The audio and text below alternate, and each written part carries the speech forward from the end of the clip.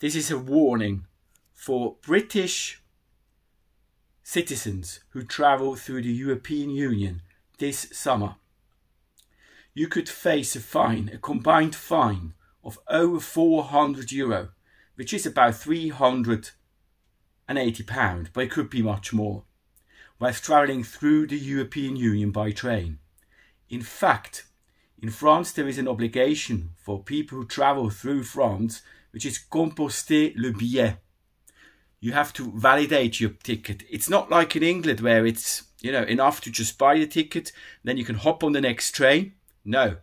In France, you have to composter le billet. Before you go on the train, there's those yellow machines. You have to compost, you have to put it in, and there will be the date and the time and the number of the train station on it. In Italy, if you go through Italy, it's even stricter.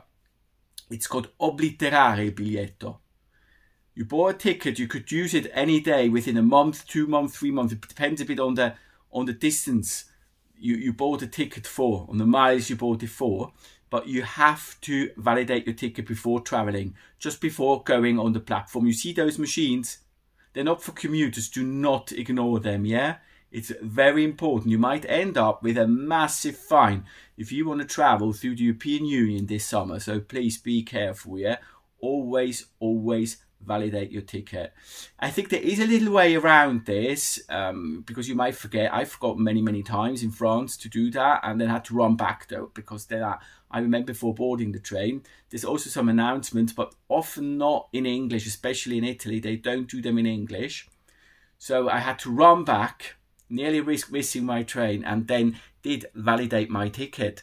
Now, you could book your ticket on the Trainline and then you haven't got that problem because pre-booked tickets with the time on it they normally haven't got that obligation. But you know if you've got a paper ticket it's better always to try to validate it anyway. But of course if it's an online ticket on your phone you won't have that problem. This is not advertisement for for for, for the Trainline or co uk at all. In fact for example in spain it's much cheaper if you buy your, your ticket elsewhere honestly but often the queue is so long, especially in summer, that I buy my ticket there. But it's really it's not it's not meant to be advertised. As I said, there's cheaper places to find your tickets. Yeah, it's just if you want to avoid this this problem with the fine that I just mentioned, that would be a way to do it. Thank you for your attention.